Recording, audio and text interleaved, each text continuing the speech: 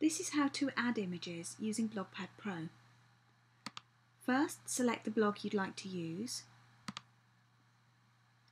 and then tap on the post you want to edit and tap Edit Content. At the moment we've just got some short text in this post and we're going to add an image. To do this, tap where you want to add the image and then tap on the media icon. You have four different options from here, from device, from media library, which is your WordPress media library, from URL or other. I'm going to add an image from my iPad. So select your image. Now you have some different options here. You can change the width and height if you know exactly what width and height you want it to be, or you can use this slider to change the image size. You also have the option to upload a high-res version of the image and to link to a high-res version of that image. But the only thing you really need to change is to add some title text.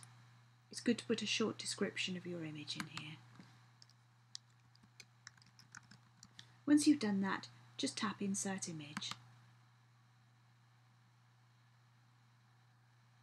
If you want to edit your image properties, just tap on your image and tap on the yellow icon, which will bring the same box up again.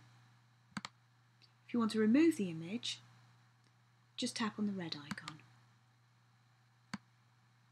Now, let's insert an image from Media Library instead.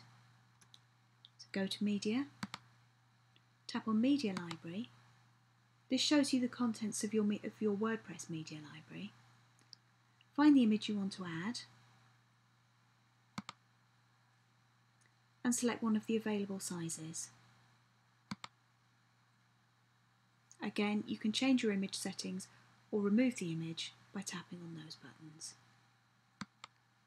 When you're done, don't forget to tap Save. This is when the images are all uploaded onto your live site.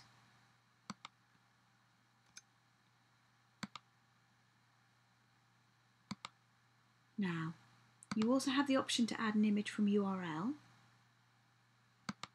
And in the other tab, you can either add a video from YouTube or you can add an image or another file from your Dropbox account.